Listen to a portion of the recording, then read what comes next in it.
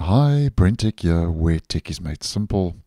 So last week, as I posted, Microsoft rolled out the latest optional bug fix C release update for Windows 11, which is KB 5043145, and I posted on that, and that video will be linked down below and in the end screen.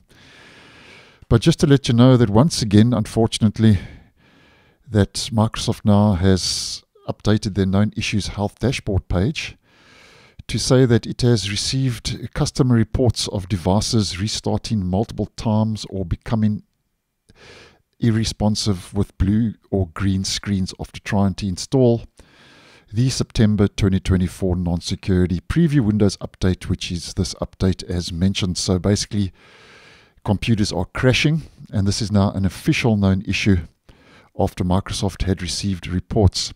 Now, according to the reports, Microsoft says that some devices automatically open the automatic repair tool after repeated reboot attempts. And then the tool tries to diagnose and resolve common issues that might prevent your device from booting properly.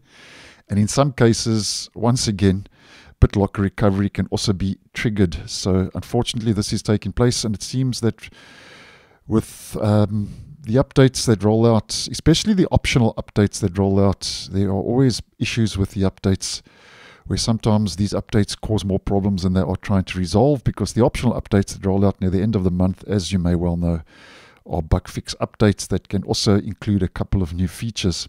Now, Microsoft says regarding the rebooting and the blue or green screens after installing the update that they are currently investigating the issue and will provide an update when more information is available. Now, that's not just the only problem.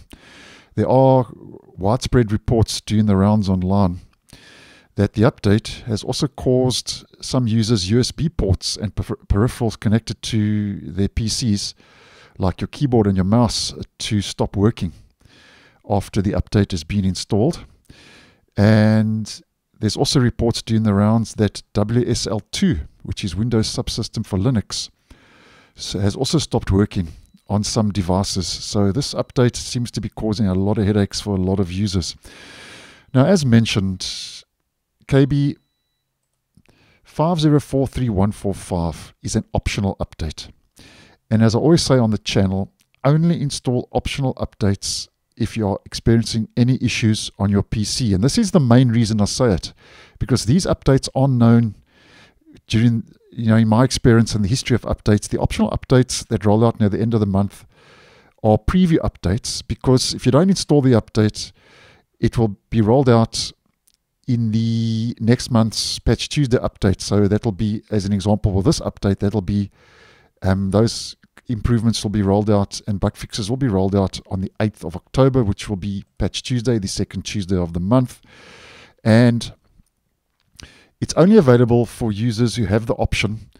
Get the latest updates as soon as they are available because it'll be downloaded and installed automatically if you have this toggle turned on. That's why I always say keep this toggle turned off and only install optional updates um, if you're having any problems with your PC because they will be rolled out. Most of the improvements will be rolled out the following month for Patch Tuesday. So, unfortunately, KB504345 is causing issues. And obviously, if I get any more info, I'll keep you guys posted. And just on a quick side note, um, if you can, obviously, if you can't get into your computer, you won't really be able to do this. But if you can, then and you are experiencing these issues mentioned in the video, then just uninstall the update. It's optional, so it, it's not a compulsory mandatory update. So you would just head to update history Scroll right down to the bottom of the page, click on uninstall updates, find the relevant update, and click the uninstall toggle and um, uninstall the update and then restart your device, and that should resolve the issues until, as mentioned, Microsoft gets back to us or rolls out a fix sooner than later. So thanks for watching, and I'll see you in the next one.